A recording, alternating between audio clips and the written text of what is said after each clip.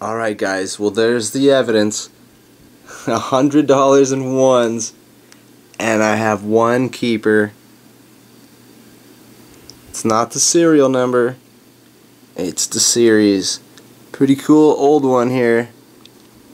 1985. There you go. We'll zoom in on it for you. Yeah, it's pretty beat up, but uh, it's alright.